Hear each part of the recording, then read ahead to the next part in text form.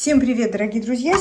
Сегодня у нас очередное видео показа украшений винтажных и не очень. Все, кто у меня впервые, я живу в Канаде, покупаю украшения в благотворительных магазинах, показываю их с ценами в канадских долларах. А, на моем канале не только украшения, на моем канале видео обзоры магазинов, примерок, болталок, похудения. В общем, я в процессе. И, в общем, все-все-все, что мы, девочки, любим, вам будет очень интересно, если вы впервые. Надеюсь, что вы у меня останетесь. И давайте я вам быстро покажу затравку того, что мы сегодня будем смотреть. Обычно я так делаю. Ну, чтобы привлечь интерес к своему видео, но очень быстро и без подробностей, чтобы вам было интересно, чтобы вы досмотрели, но в то же время, чтобы не портить сюрприз и удовольствие от просмотра. Так, давайте начнем, начнем, начнем, начнем. Э, у меня украшения не только винтажные, поэтому будем рассматривать все подряд. Итак, первое украшение, которое было оценено 5 долларов в нашем магазине. Что оно, что оно? Вы знаете, я иногда покупаю вещи, они у меня довольно долго лежат, прежде чем я их снимаю. Вот так вот купила вместе с этикеткой и оставляю. Поэтому часто я не помню, что к чему. 5 долларов стоило. Есть маркировка, нет маркировки. Находила ли я его на реселе? Если находила, то обязательно прилеплю картинку. И если нет, то нет. И я всегда все на себя примеряю. Смотрите, винтажная брошь, конечно, судя по плечикам застежки. Интересная такая обратная сторона. И брошь тоже очень интересная. Брошь-планка с медальоном. Жемчужина в центре, естественно, не настоящая. И четыре маленькие жемчужинки. И здесь в центре, я думаю, что белый камушек. Я что-то плохо вижу, да? Да. И она довольно легкая такая. Если бы не вот эти вот, если бы не застежка, я бы вообще усомнилась в ее винтажности. Но, судя по застежке, она таки, да, винтажная. Черная эмаль. Красивая брошь, необычная, интересная. Прям такая испанка я или нет из разряда подвески королевы Анны. Навеяла. Так, идем дальше.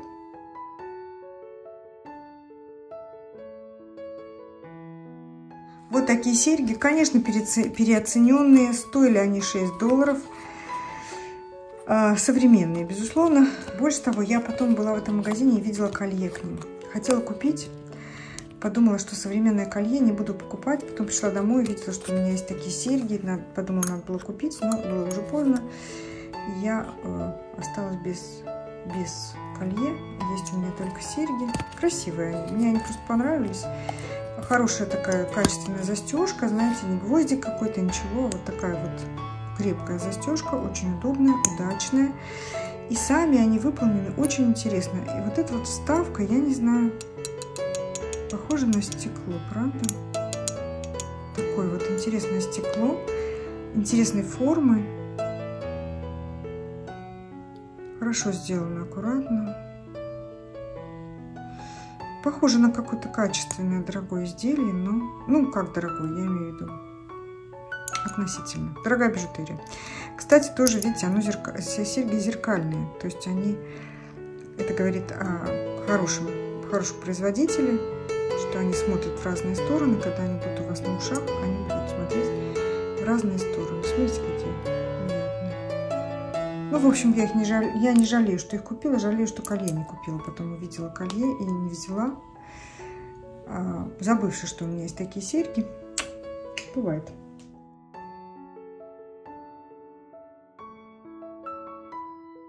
Вот такая вот вещь. Это зажим, 4 доллара стоило. Это зажим для платка. Я их очень редко покупаю, потому что не ношу. Реально, я вообще и платки не ношу особенно. А уж зажимы для платка тем более. Мне просто очень оно понравилось. Очень интересно сделано, красивое. Я не знаю, что это за материал здесь. Так, во-первых, давайте посмотрим маркировку. Иногда, обычно, если они маркированы, то это обычно Германия, написано Germany, но здесь ничего нету. Так, что же это за перламутр? Или нет, не знаю. Похоже на перламутр, а может просто пластик. Легкая, легкая, легкая. Марказ, мерказ, марказиты здесь. Мерказит или марказиты, как правильно, я все время путаю. Ну, в общем, красивый дизайн. Понравилось мне оно, этот, этот зажим. Его можно не обязательно носить как зажим для платка, его можно носить как дресс-клип. Если вот э, кармашек или на горловину свитера, например. В общем, как-то так.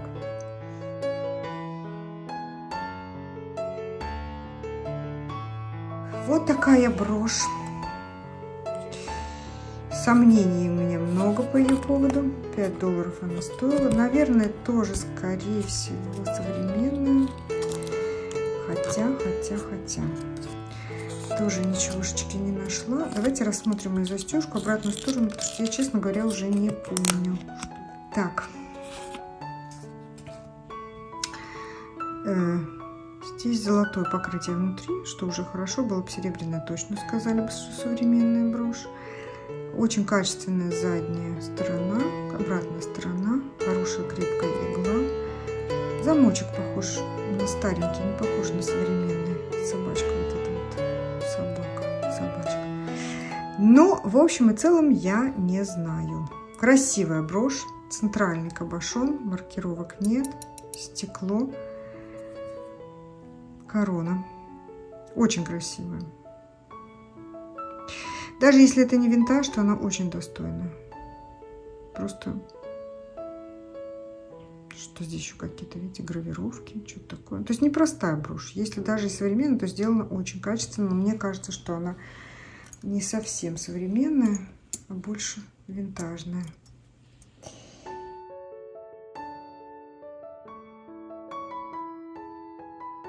Такие вот бусы.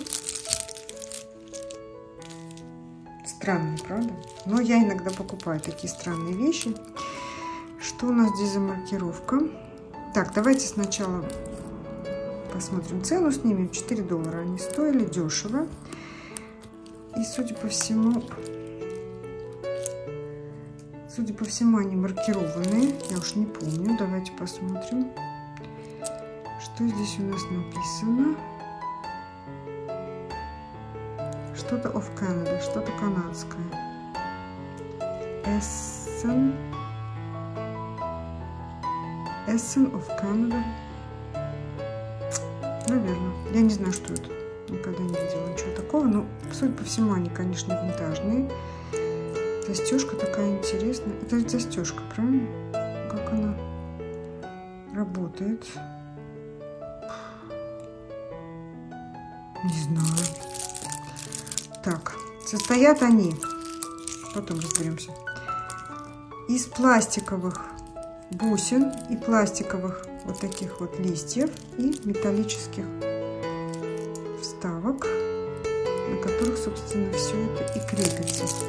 Так, как же она застегивается? Мне надо ее примерить. Как же мне ее примерять? Я думала, что это бочка, которая раскручивается, но она нифига не раскручивается. А через голову она не пролезет, они короткие совсем. Красивые такие интересные, смешные, винтажные пластик, летние такие бусики. Так, девочки, примерю, если найду, как расстегнуть. Вот здесь вот явно что-то должно входит и выходит. А если не найду, то, то, то я просто приложу к себе. И как их носить, тоже не знаю. И что с ними делать. Видите, они на леске натянуты. Что это может быть? Сейчас не хочу, потому что не хочу их сломать. Знаете, бывает иногда такая просто тоненькая, такая как планочка, которая входит в бочку. Фигня, да? Так, ладно. Оставим. Короче, если вы на мне их не увидите, значит, что я не нашла, как их расстегнуть, и значит, что я не знаю, что с ними делать но мне они понравились. Так и не смогла расстегнуть, примеряю на руку, надеюсь, что все-таки мне удастся их расстегнуть когда-нибудь. Так, еще одни бусы из натуральных камней. Я их купила, потому что они из натурального камня, и стоили они всего ничего, 5 долларов. Я не понимаю, что это за камень, я не разбираюсь. Простите меня уж, пожалуйста, великодушно. Напишите мне, пожалуйста, что это за камень. Я уверена, что вы все знаете. Точно знаете.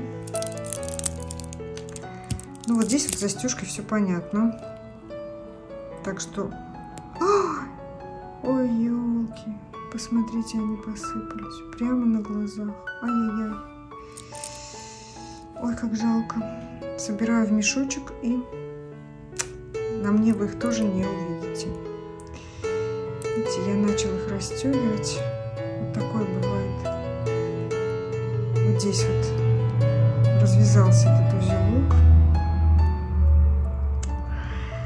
Ах, как жалко. Но это легко чинить. Я это все восстановлю, починю. Но сами бусы очень красивые. Напишите мне, пожалуйста, что это за камень. Видите, какая у нас произошла.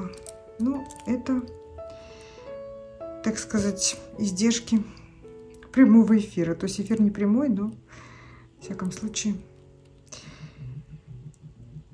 Так вот. В общем, бусы красивые, но я их порвала. Ну, красивые какие камни. Это какой-то тигровый глаз или что это? Но то, что это камень, мне не вызывает сомнений, потому что э, они очень холодные, такие тяжелые. Ну и да видно же, да.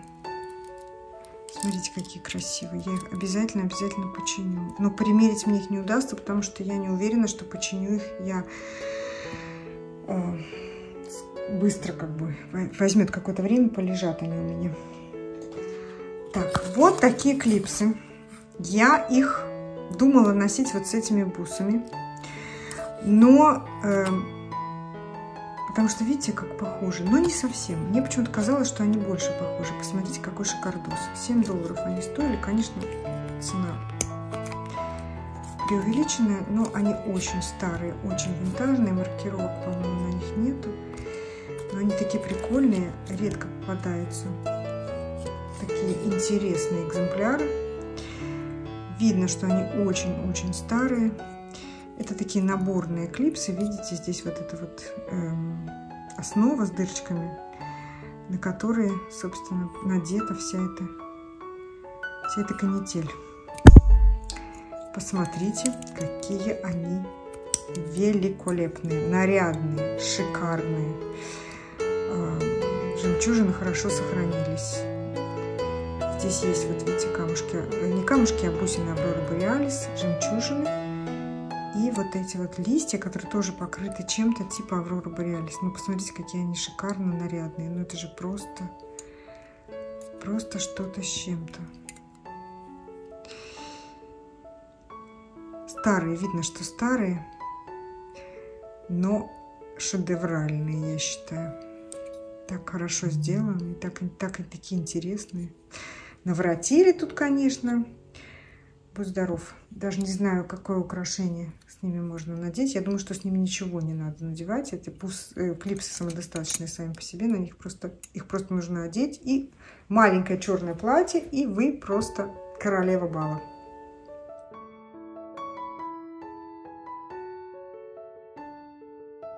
Смотрите, вот такая интересная брошь за 5 долларов. Брошь винтажная.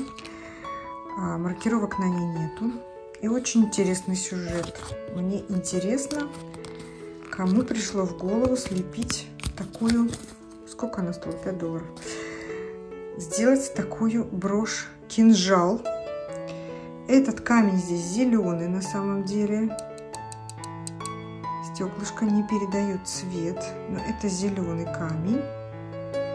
Вот такой вот ятаган. Он прям даже острый. Ох, боже мой, конечно же, есть маркировка. Ну какая же я внимательная. Кора, ах, это кора. Замечательно. Это тогда тем более хорошо. Маркированная брошь, винтажная. А я уж сказала, что маркировки нет. Замечательно, кора. Посмотрите, какая прикольная. Ну, в общем, фантазия дизайнеров бренда Кора сделала всплеск и они насочиняли вот такую вот воинственную брошь, кинжал, ятаган. Интересный дизайн, очень редко, никогда не встречала ничего подобного. Тем более, что это кора, вдвойне, вдвойне приятно.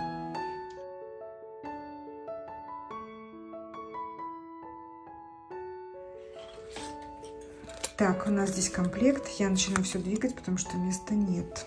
Комплект. Я не уверена, что это комплект, но висели они рядышком, мне показалось, что это комплект. 8, 4 доллара, 5, то есть вместе 10. 10 у нас вот так вот, когда вешают это как комплект, то стоит это 7, например, 8. А когда поделишься, то каждый по 5. Ну, что там, чего бы нет. Так, давайте будем рассматривать. Снимаем с этикетки.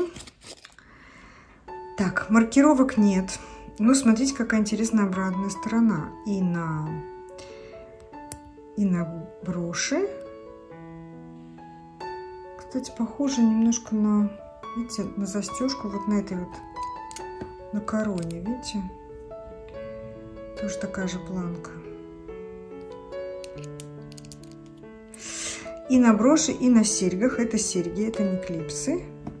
То есть это, безусловно, комплект, потому что, видите, все очень похоже. Легкий, тонкое такое плетение. Красивый кабошон жемчужный под жемчужину. Кстати, разного цвета немножко. Это, жемчужина более белая, это более желтая, что заставило меня усомниться. Но вот эта вот оплетка металлическая очень похожа и очень похожа обратная сторона. В общем, вот такой комплект, не маркированный, не знаю его происхождение, не знаю его возраст. Но мне кажется, что это винтажное украшение. Может быть, возможно, из 70-х или 80-х. Смотрите, как он красиво здесь вставлен. Интересно. Явно заморочились не просто вклеили, а вот такая вот, вот такая вот оплеточка вокруг кабошона. Кстати, в серьгах этого нету. В серьгах немножко сделано по-другому, поэтому у меня сомнение, что это комплект, но уж очень похоже. Разница в, в цвете камня, безусловно, не будет видна, на, когда вы будете это носить на ушах и на лацкане, например, жакета. Это не будет видно вообще, что это разный цвет потому что это далеко. Но, в общем и целом, набор красивый, качественный, хорошо выполнен и очень симпатичный.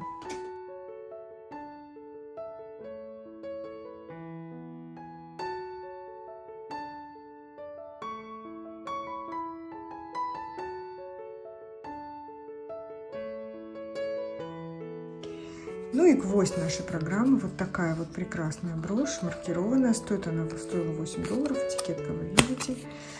Так, тоже я считаю, что для маркированных брошей в наше, в наше не дешевое время это недорого. Не для маркированных, сомнительных дорого, а для такой броши нет. Так, посмотрим, кто это у нас. Это у нас Я находила ее где-то. Ой, девочки, что это за маркировка? Сейчас опять окажется, что я не с той стороны читаю. PL. Что это за маркировка такая? P. P. L. P2. PM. PLM.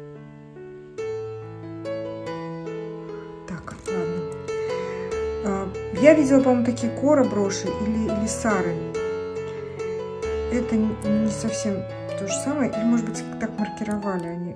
Сейчас не вспомню. Но видно, что застежка тоже винтажная. Сама брошь винтажная. Так их в те времена, в 60-е, делали много подобных брошей. Это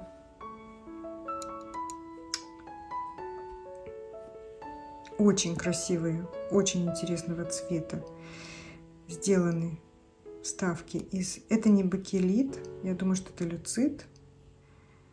Люцитовые вставки. Очень красиво блестят, переливаются. Брошь шикарная, великолепная. Она мне очень нравится.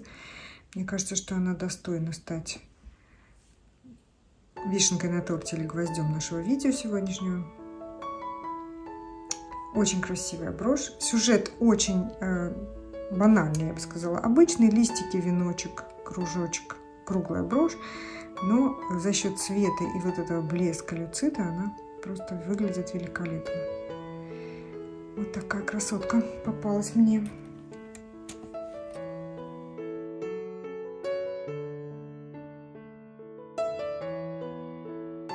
Ну что ж, дорогие друзья, вот такое у нас сегодня было видео. Было много приключений. Одни бусы, которые не открывались, другие бусы, которые порвались. Сожалению, брошка оказалась маркированная, хотя я не ожидала. Брошка, которая мне казалось, что это Кора или Сара, оказалась вообще не, непонятно что. Но, так сказать, кому сейчас легко, что называется, да? Надеюсь, что вам понравилось и было интересно. Надеюсь, что если вы меня впервые, вы останетесь со мной. И если вы меня не впервые, я очень рада всем моим старым друзьям. И я надеюсь, что вы напишите мне комментарии, отзывы о том, что вы сегодня посмотрели, подсказки, помощь, потому что вы разбираетесь и знаете больше, чем я. А на сегодня все. С вами была Дита из Канады. Всем пока, всех люблю, целую, bye-bye.